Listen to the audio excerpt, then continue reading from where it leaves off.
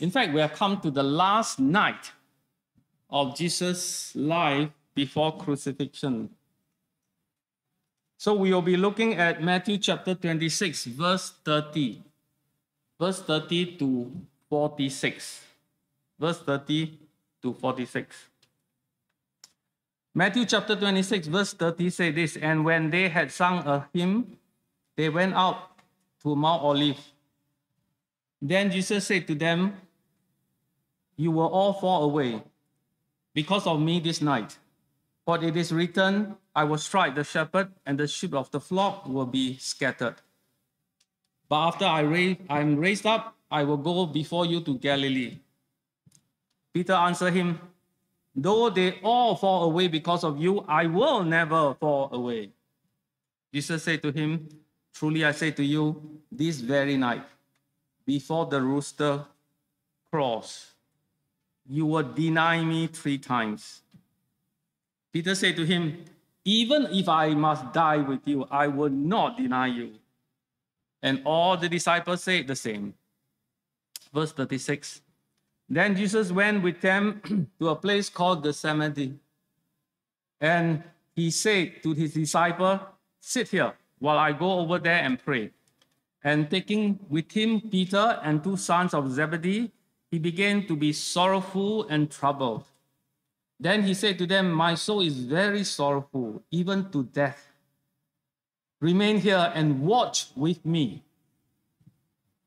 And going a little further, he fell on his face and prayed, saying, My Father, if it's possible, let this cup pass from me. Nevertheless, not as I will, but as you will. And he came to the disciples and found them sleeping. And he said to Peter, So could you not watch with me one hour? Watch and pray that you may not enter into temptation. The spirit indeed is willing, but the flesh is weak. Again, for a second time, he went away and prayed, My Father, if this cannot pass unless I drink, unless I drink it, your will be done. Verse 43. Then again he came and found them sleeping, for their eyes were heavy. So leaving them again, he went away and prayed for the third time, saying the same words again. Then he came to the disciple and said to them, Sleep and take your rest later on. See, the hour is at hand the Son of Man is betrayed into the hands of sinners. Rise, let us be going. See, my betrayer is at hand. May the Lord bless his own words. This passage we just read record two stories. Two stories of the last evening of Jesus' life before his arrest and crucifixion especially the second story about Jesus' prayer in the Garden of Gethsemane. Why do I put two stories together? Because when you put two stories together, when you compare and contrast the two stories, the theme will stand out even clearer. Can you find any similarity between the two stories? Look carefully you will find both stories talk about how to face trials and temptation. When the disciples were told that their Lord, their rabbi, their master will be killed, will be arrested, will be crucified, this supposed to be the end of their life, meaning they given up all their careers, they given up all their families, they give up all their possession, they follow Jesus Christ for three years, and come to the end, Jesus Christ be, will be arrested and killed. So what does what does it mean? So all their dreams and all their aspiration all gone. Because this is the this is the moment, this is the last moment. If this thing happen, all the things that they have done, all the sacrifice they have made, is all go to waste. So they are facing the most critical moment of their life. And when Jesus tells them that trials and temptation will come their way, they will fall away. Because this, they will fall away. Of course, Peter being rash and proud, said that though they all fall away, I will never fall away. Jesus answered him, Before the rooster crows tonight, you will deny me three times. So you can see that both stories, you will see that the disciples facing a critical moment of their lives. Jesus also facing a critical moment of their life because Jesus will be facing the arrest and crucifixion at that very night. And then when you look at their reaction, their reaction is so much different. Peter and the disciple are so assured that they will not fall away. But when Jesus faced with the situation, he immediately go to prayer. He immediately go into humbling himself, seeking the, the will of God, and he prostrate before God and ask for help. So of course, you also realize that Peter denied Jesus, time, Jesus three times as predicted, but Jesus Christ prayed three times, asking for help. Of course, we cannot undermine the importance of this text as Jesus prayed in Gethsemane. In fact, this is the lowest point in Jesus' life before crucifixion. Have you experienced the lowest point in your life? Can you recall, can you remember how you feel? Have you been to the lowest and lowest point when you feel you have no help? When everything seems to collapse in front of you? Do you remember how you handled this? And this is the very night that Jesus is facing when he's thinking through, meditating through, by tonight, midnight, he will be arrested and he will be tried and he will be tortured and he will be crucified. He will be nailed on the cross and he will feel all the pain and uh, all the, the sin of the world will come upon him. Can you meditate and think a moment through what Jesus will be going through in his mind? You know, sometimes death is not scary, but the thinking of the coming of death or suffering, just before it, it makes you tremble. In fact, I do experience a number of times the lowest point in my life. And I will confess to you right now, I am now experiencing the lowest point of my life in ministry. As you've been with us for some time, you know that if you're observant, you know that there are waves of exodus, people exiting the church. And one after the other, for various reasons, they don't like each other, they have some doctrine issue, they have other things, and they all come like wave, one after another.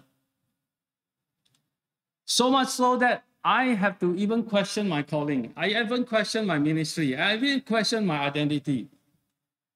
My, ex- my life and my ministry, I have given up everything to follow Jesus Christ and follow the calling and come to this point of life when people are exiting. Then I start to question why, what happened, what did I do wrong? And not only that, my family also have problems.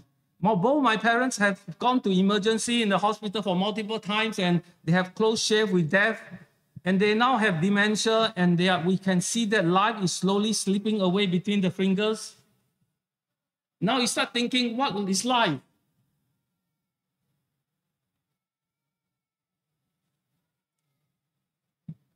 So as you experience this low point of life, maybe you can tell, maybe you cannot tell.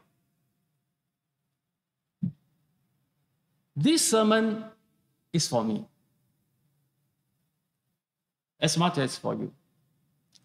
So, although many of you see that I'm a very strong man, but if you look carefully, you probably can see my weaknesses. So, today I come forward and be clear with you. Yes, we see that Jesus Christ experienced this lowest point in their life, in his life. And we all experience. In fact, I would say to you, this COVID brought a lot of issue into our life. We see marriages break up. We see couples break up.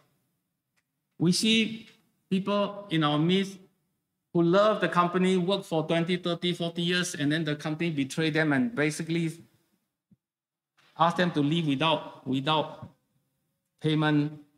Our lives really upside down.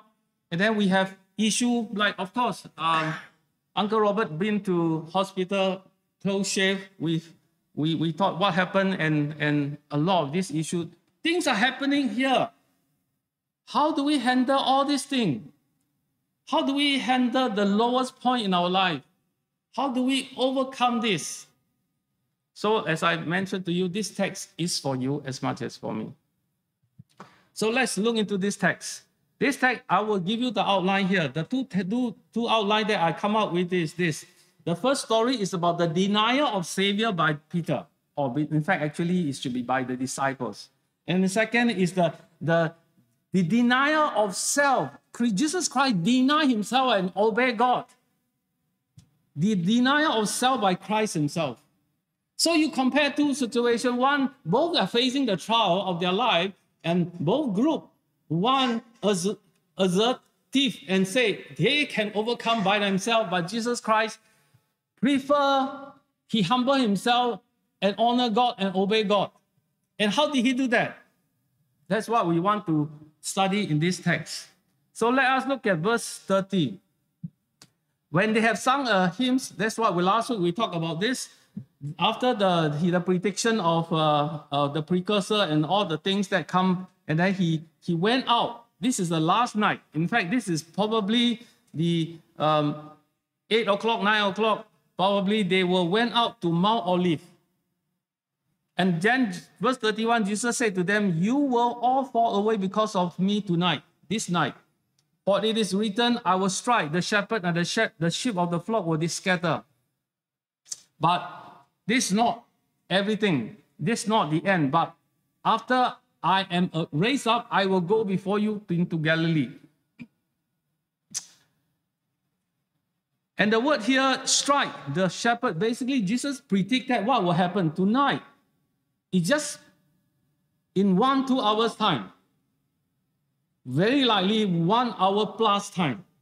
Because Jesus said, can't you be pray with me for just one hour. So very likely Jesus prayed for one hour. And after one hour, uh, the, the, uh, the, the Judah came with all the Roman soldiers. So in one hour's time, the shepherd will be struck down and the sheep will scatter. And this is really uh, a quotation from Zechariah chapter 13, verse 7.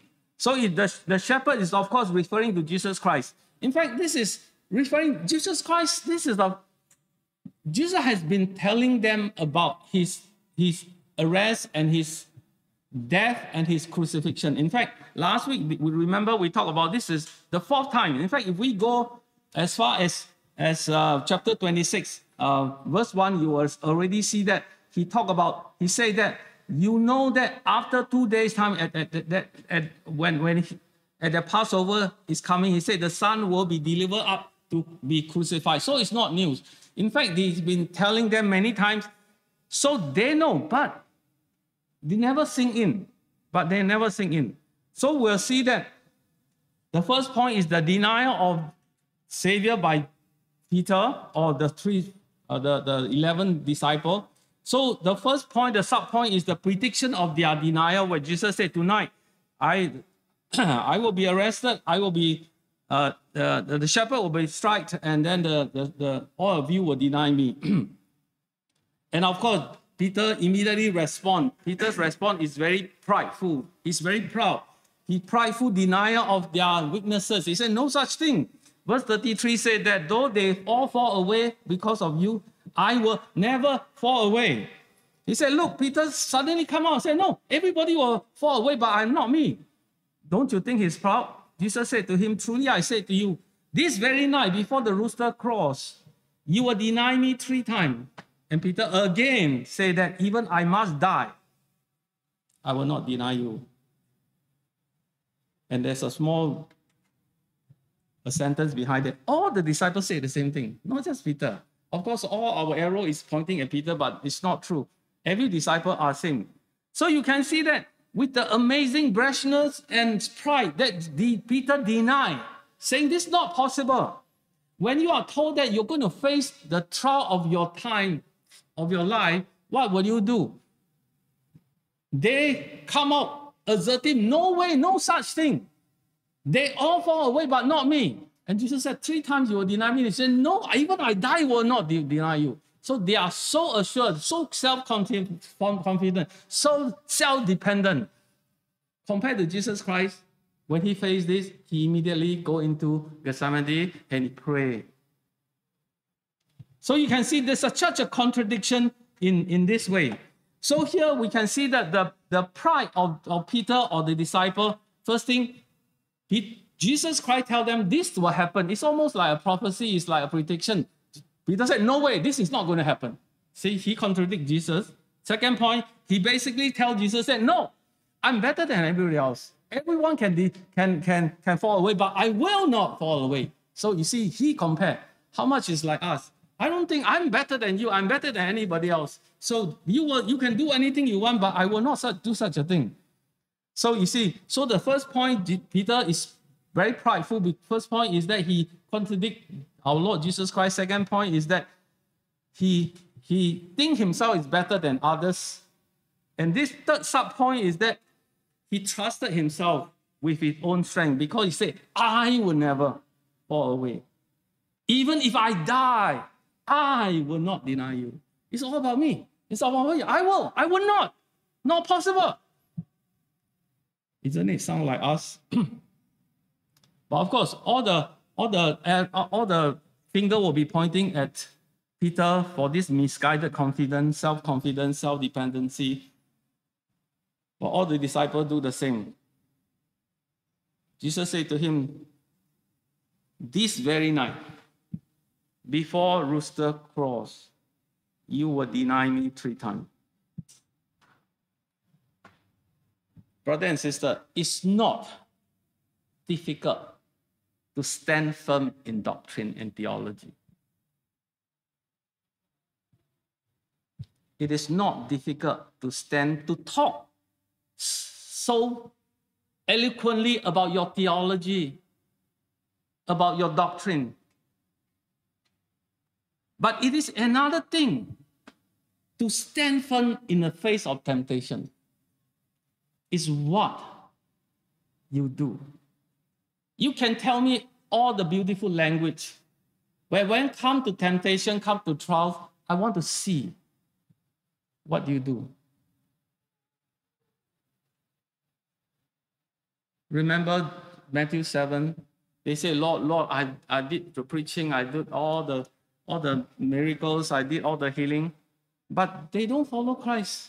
So the point is this you can talk all the flower, flowery language, you can talk about all the biblical knowledge, all the theology, but you cannot fight sin. You cannot stand alone, can stand for Christ, then everything will collapse. So we have to work hard. We have to, we have to work out our, our salvation in fear and trembling. And this is what Jesus Christ is doing. Compared to Jesus Christ, Jesus Christ immediately go into prayer mode. He humbled himself, he sought divine help. In fact, he denied, he denied himself. He denied himself. Remember, he told his, his disciple, you, you want to follow me, you have to deny yourself, take up the cross and follow him. Peter denied that he will, he will fall away. He denied that he will, he, he will, will ever have such weakness. But Jesus Christ straight away, he denied himself and go into prayer. Look at verse 36. Verse 36 says, when Jesus went with them to a place called Gethsemane. Gethsemane is a, really a garden. In fact, we have been there. Um, we, if you've been to Israel, you, you must have visited. Uh, of course, they, they say this is a place that Jesus prayed, but nobody knows. So Jesus tell the 11 disciples, sit here while I go there and pray. So there are the 11 disciples. Judah already left uh, to, to talk to the Romans uh, and the, the elders and the priests. And then verse, look at verse 37. And taking with him Peter and two sons of Zebedee. Two sons of Zebedee really is John and James. If you remember, John, uh, the two sons of Zebedee is basically the one who, who whose mother asked, approached Jesus Christ and said, Jesus, my son sit on the left and right? This is, this is the two sons here. So Jesus took three of them, Peter, John, and James, and go to further in. And he began to be sorrowful and troubled. Jesus is very sorrowful and very troubled. And verse 38 say this. He said that my soul is very sorrowful, even to the point of death. Have you been sorrowful? Have you been so grieved to the point of death? Have you been such a low point, so much so that you feel like you are the only one in the world? And maybe when people reach this stage, when they don't have hope, the only thing they will do is take their life. And when Jesus is so sorrowful, so what goes through Jesus' mind? What is he thinking about? When he say, I'm will be arrested, of course, we are talking about the human Jesus, not talking about the divine Jesus. The divine Jesus, of course, he knows everything and he can perform miracles and he can overcome everything. But it's, it's the, his humanness, his humanity. He feel like we. He, he feel hungry. He feel upset. He, he's tired. He need to rest. He need to eat. And here, he needs emotional support also. He's so sorrowful to the point of death. I am so, I do not know whether you experience this. I hope you have not. But but life is such that there are times, maybe your girlfriend left you or boyfriend, maybe the, the company did you. You've been, have you been betrayed by your best friend? Have you been, you do everything for the person that you love and they turn away and walk away? Have you experienced that? And this what Jesus is going to experience because all the disciples will leave him. And everybody will leave him. And when we when we continue to study, even the Lord himself will leave Jesus Christ. I will tell you, in fact, you heard me say this. Nobody is the loneliest, nobody can claim the title of the loneliest person in the world. Because what you need to do is just pray. Once you pray, the Lord will be with you. But Jesus Christ prayed, no, Lord will not be with him. He said, You have to bear the sin of the world. The Lord will not look at him, and he will have to bear the sin by himself alone. And of course, what else did Jesus feel? Maybe your small group can talk about this. What did he feel when he go through this thing? And then he told the first group of disciples, the 11, say, you sit here while I go to pray. Then he take three of them, Peter, John, and James, go further. And then he told them, remain here. Look at this word, watch with me. Watch with me. Later on, I'm going to explain to this, this thing what this watch means. And going a little further, this time by himself, alone. 11, then take three, and now he's alone. He's alone praying. So he fell on his face, basically pastoral, on the, on the on, on the ground, and prayed, saying, My Father. All the scripture you see he called God the Father. He's never called my Father. So it become very dear. He said, My Father, if it is possible, let this cup pass from me. Nevertheless, not that I will, but as you will.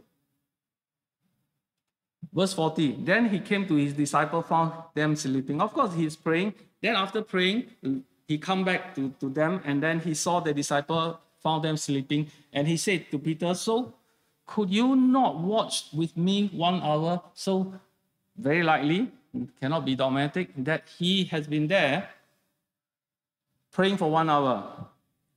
And then, verse 41 watch and pray that you might not enter into temptation. So, you see, he, he's been saying, Can you not watch with me? Watch with me. And then he said, Watch and pray. The spirit is willing, but the flesh is weak. We always use this to, as, to give ourselves excuse. Verse 42. And second time, he went away and prayed, My father.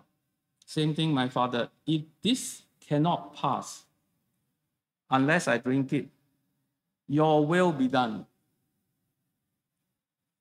And again, when he's done, of course, this is just summary, not just that he prayed one sentence. He's this summary of what his prayer. And then verse 43, he came, he again came and found them, They're sleeping again, for their eyes were heavy. So verse 44, so leaving them again, he went and prayed for the third time. He prayed three times and saying same words again. Then came and then back again to them saying, sleep no more. Sleep and take your rest later. See, the hour is at hand. The Son of Man is betrayed into the hands of sinner. This is the moment. He said, Rise, let us go. See, my betrayer is at hand. So this description very likely is near midnight. This is really 12 o'clock on Thursday night in the Passover week. Jesus already completed his ministry already preached his last sermon, already performed his last miracle, already celebrated his last Passover. Now he come to face to face with his last moment of his life, and he comes to be faced with with the purpose of his incarnation. Why is he here? He's here to take away the sin of the man. He's here to accept the punishment of the, of the people. And he is here, let alone taking someone's responsibility and debt and all the things that you are going to bear. Can you imagine the whole world sin is on him now? Not only the whole world, the, all the generation of thousand years, every people, all the Christian, all the men who confess in him, all the sin will become to him at that moment. I cannot fathom the, the weight, the gravity of that moment. I do not know how to carry this. The Bible seldom, in fact, the Bible have no record of Jesus laughing. But the Bible did record Jesus weeping. Jesus cried when Lazarus died. And Jesus wept over Jerusalem when he entered the city. But now, of course, Jesus knew sorrow upon sorrow. And you look at Isaiah 53, you know that this man of sorrow. And he know grief upon grief. But no other man has ever lived such grief. But the sorrow he experienced in the Gethsemane is on the last night of his life and before his crucifixion is the accumulation of all the sorrow that man can ever know. And that night, nobody, no one can comprehend that agony that a sinless, holy God is going to take the sin and the horror, the, the filthiness of sin all at once in his body. That will hang on the cross. In fact, just now we already alluded to this that Jesus said that he's sorrowful. He's so sorrowful even to death. And the book of Luke say this. He said that, and being in agony, he prayed more earnestly and he sweat. He prayed. I do not know whether you pray until you sweat like this, that he's, he, he became like great drops of blood falling from his onto the ground. He prayed that he sweat. This is the pain. The Garden of Gethsemane is, the word Gethsemane is olive press. And that's very fitting. It is at Gethsemane, he's being crushed he's being squashed, he's being pressure. That all, when he meditate, when he think about this, all this come upon him. And then he pray, he pray, he pray. Do you notice his prayer? Look at the content of his prayer. His first prayer, what did he say? Verse 39, he said, My father, if it is possible. But on the second prayer, what did he say? He said, if this is not possible. Do you notice the difference? The first time he said, if it's possible, let it pass. But the second time he said, if it's not possible, let me take it. Do you see there's a change of tone at least? So when he first come to prayer, he said, Lord, if it's possible, if it's at all possible, this is so much I cannot take. As a human, Jesus, is so much I cannot take. If it's possible, let it be passed. Can this be passed? The answer is no. If, if Jesus Christ is not going to die on the cross, no sin can be forgiven. God being righteous, God, He has to judge every single act of sin. And why did God can forgive? Because Jesus Christ take the punishment for us. That's why God can forgive. If being a righteous God, He has to punish sin, and He did punish sin because Jesus Christ took the sin. That's why He can forgive us. He said, at all, is it possible? And after praying, you know, prayer, sometimes we say prayer is um, it's like talking to God. Sure. But I want to tell you that prayer is not chanting. It's not repeating all the all you want again and again and again. I would say that I would venture to say prayer is is come to God. You pray to God what you have, what your trouble or what trouble you, what is weighing you down. And then you search the scripture, you meditate on, and God enlighten you. Then you realize, oh, this is what God meant. This is what He, what God's will is stated in the scripture. Then you come to conclusion, maybe we I should do this. So prayer is not just go in the. Are you praying? Okay, I'm praying. Hour means I'm non-stopping, non-stop, non-stop speaking for 50, 60 minutes. No. You go in, you pray, and you think, you meditate, you read the word, and then you pray to God and say, what does this mean? You meditate, you meditate, and you come to conclusion, oh, the Lord enlighten you. Ah, now I see why is this thing. If you not, pray again. So he first time he say, is it possible? Is it possible? Let it come past me. Then second time he go in and say, if this is not possible. Do you see the progression? Okay, if it's not possible that unless I drink it, let it be done.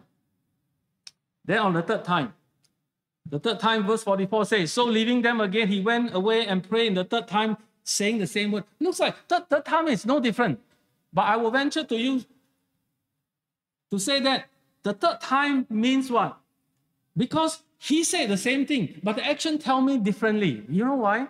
Because if you say the same thing means, oh, uh, my father, verse 42, if this cannot pass, I think he come to another conclusion. The conclusion he said, especially when he, verse 46 say, rise, let us be going. That means he come to a conclusion. The first time he said, if it's possible, if it's possible, let it be passed. The second time, if it's not possible, okay, I'll take it. The third time, oh, it's not possible.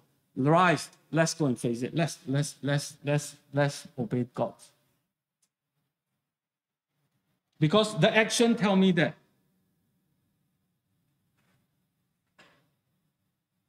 So this is the, the cycle of, of Jesus' prayer. And no make no mistake, I can understand for sure. This text, this prayer of Gethsemane, clearly nobody will question. It is talking about Jesus obeying God. If it's okay, let the cup pass, but not my will, but your will. So clear. We understand that. Jesus can, we don't have to endeavor to go to, to, to on this point. Jesus clearly said, I want to obey God. I want to obey God. But even so, there is struggle, and the struggle is real. And it's so real that he needs. So in time of need, and if I if I look at this three three prayer, I find that in Jesus' prayer, he needs strength to face this critical moment of his life. And in fact, Luke said the same thing. Luke said this. After he prayed, Luke chapter 22, verse 43 said, And there appeared to him an angel from heaven strengthening him. So the Lord, God, the Father, did send an angel to strengthen him. I don't know. When you pray, sometimes God strengthen you. And you might not see the angel. Of course, maybe you can experience, you can share your experience. I do have some, but but I, I don't want to, to over exaggerate such. So he basically, this prayer tells us that Jesus Christ want to obey God, but he struggles. He struggle. He really struggle. But at the same time, this show us the weakness of man. Not only that, we need strength from God, but also the weakness of man. You see, Peter is exactly a good example. So over here, I will propose to you that in this denial of self by Christ, there are three points. He, he showed that he needs strength from God, as we say, we see just now. Secondly, I will say that he needs strength from his fellow brothers. He need all the brothers and sisters to come stand by him. How do I, where do I get that, that, that, that, this idea? Before I go further, let me, let me show you that this word, in fact, when you say the, the word pray, prayer, proseuchomai, basically saying the intensified prayer, his fervent prayer, he is earnestly praying, he intensive, intensify in his prayer. Not only that, when he, remember, I keep telling you, when he asked the tree, he said, watch, watch.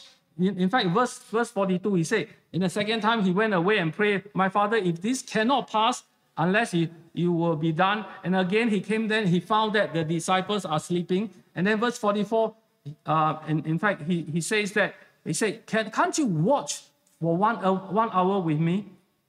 Can't you watch one hour with me? See, so my question is, what does watch means? So Jesus is praying, then we sit there and say, what's going on here? We protect Jesus or what? Watch what? I will say that, look, why did he leave the, leave the, the, the 11 and then he take three and then he tell the three that watch, pray with me, watch with me. What does it mean?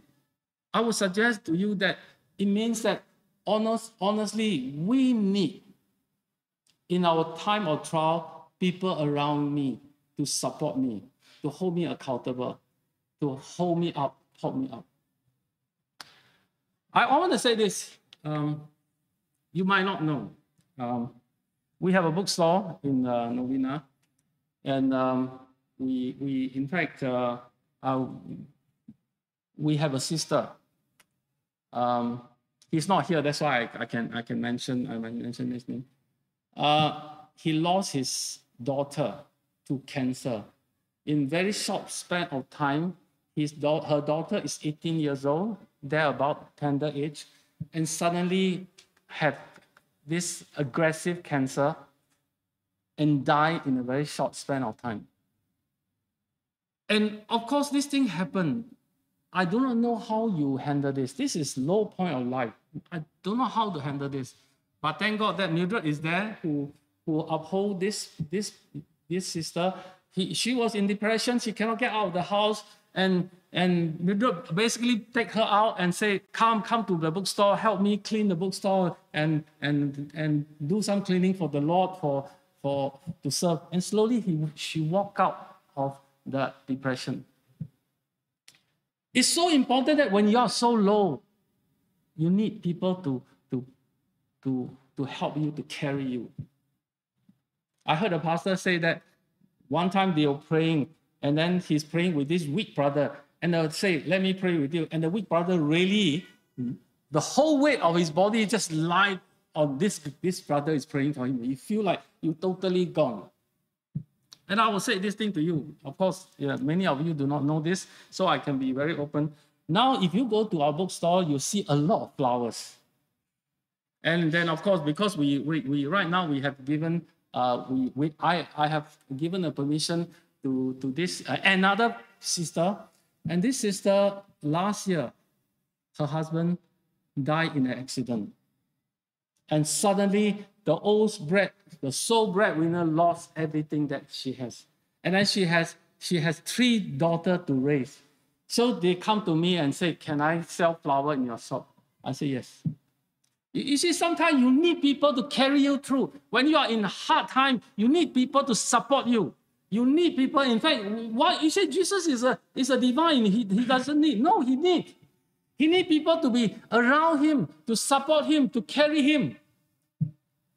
And watch that, what does it mean? Watch like that. Uh, are you saying that to watch me? In fact, the word watch, the watch is, is here, is basically the idea of awake, being awake, being, being awake.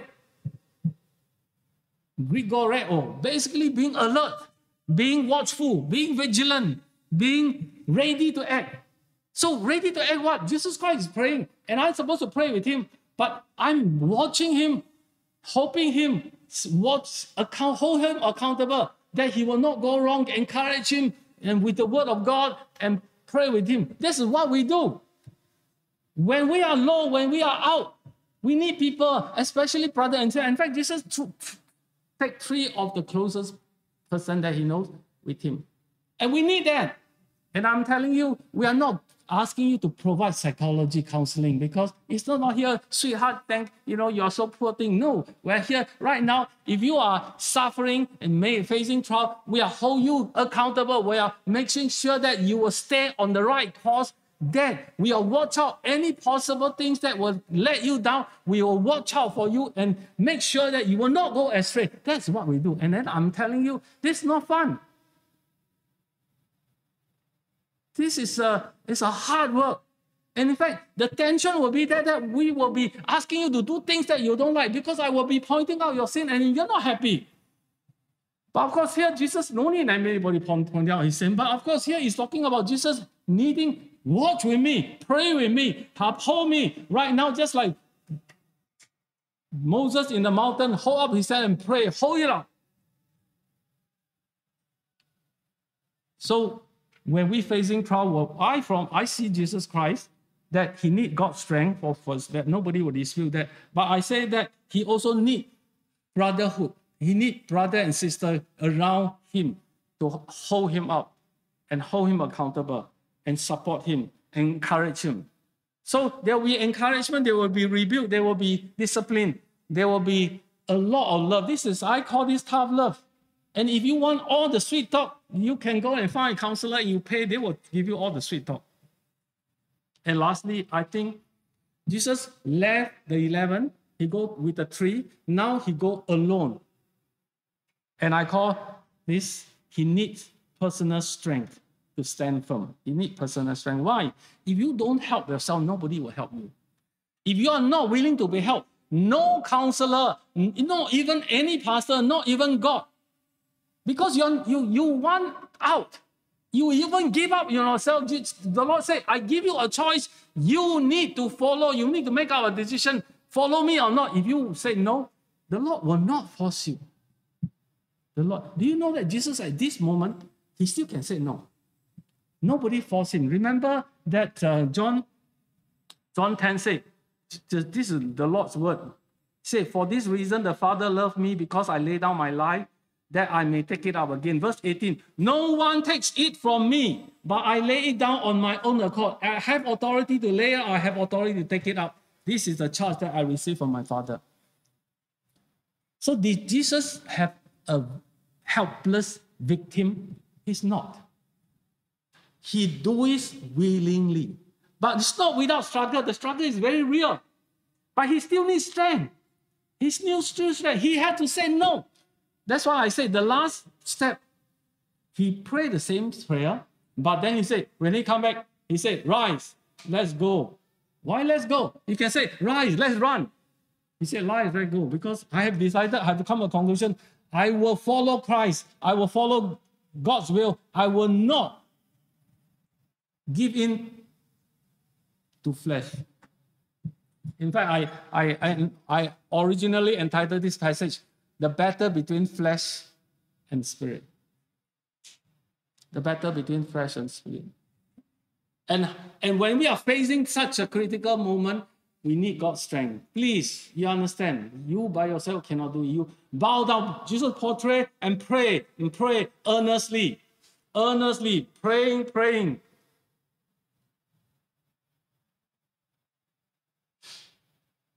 And then he asked his disciple, Pray with me. Watch with me. And then he go further and he said, Lord, if really cannot pass, I will obey. I will obey. Not my will, but thy will. Therefore, in verse, verse 46, he said, Rise, let us, let us go.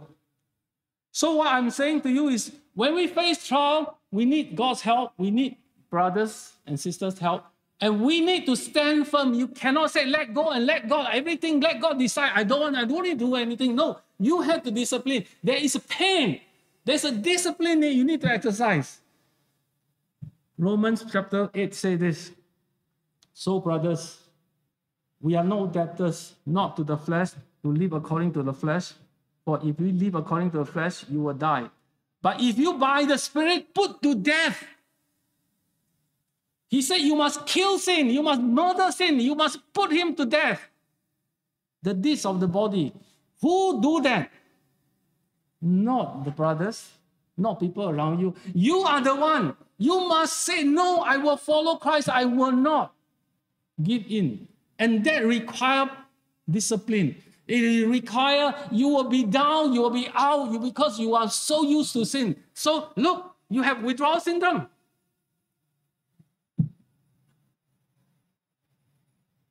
So fighting sin require effort, not effort, a lot of effort. In fact, you require, you, you have to do it. If you don't do it, you die. First Corinthians chapter 9, verse 27 say, Paul said, I discipline my body and keep it under control. So you see, who, who discipline you? If you don't discipline yourself, you don't want to exert control over yourself, nobody can control you. Paul said, I discipline my body and keep it under control, lest after preaching to others, I myself be disqualified. I want to tell you, brothers and sisters, overcoming sin, you need to suffer. No pain, no gain. If you're not willing to face pain and discipline, you're not willing to suffer, you will not overcome sin. You know, sometimes we say sin is enjoyment. I okay, I'll pass enjoyment. But at the same time, not only passing the enjoyment, you this sinful passion, but you also have to pay. You have to pain. You have to accept the pain. You have to accept all the all the inconvenience. You have to accept all the struggle we come with it until you learn a new habit. It's never easy to learn a new habit. First Peter say this. Since therefore Christ suffered in the flesh. Arm yourself with the same thinking. Whoever has suffered in the flesh has ceased from sin. So you want to cease from sin without suffering? Not possible. Not possible. If you are saying, no, I will, willing to suffer, I will go through hard time, I will go through difficult time, I will pull through until I become accustomed to holiness. That's called discipline. You want a simple way out, no way. And what Jesus Christ did, he go through suffering. In how did Jesus Christ have victory? Through suffering. If you are not willing to go through suffering like Christ, you will not succeed. Yes, we are saved by faith, but Jesus Christ said we have to go through the, the, the, the sanctification. The way of sanctification means we have to sanctify our life and that requires discipline. That requires discipline. We come back to our text. Yes, Jesus Christ faced the lowest moment of his life. And he obviously had victory. And how did he have victory? He trusts God. He, he asked, he humbled himself, pray for strength. And then he asked for brothers and sisters, watch with me. And then he say that I, thy will be done. Not my will, but thy will. Unless you're willing to fight through this, you cannot overcome sin. But of course, Jesus Christ not just doing it for himself, he do it all for us. Shall we pray? Father, as we come before you, we cannot fathom the agony that our Lord Jesus Christ go through. Father, may us open our eyes, open our hearts. Let us feel a little bit how the Lord Jesus Christ felt on the night at the Garden of Gethsemane. But more so that help us to imitate our Lord Jesus Christ, that we will honor our God the Father and deny ourselves, but pray the same prayer, Thy will be done. So, Father, we know it is hard. Our human nature will not want your will be done. But we are the blessed one that's saved by grace. Now we have to learn how to go through our life in such a discipline so that we can show the whole world it is through your power, Holy Spirit, that we can overcome sin. In Christ's name we pray. Amen.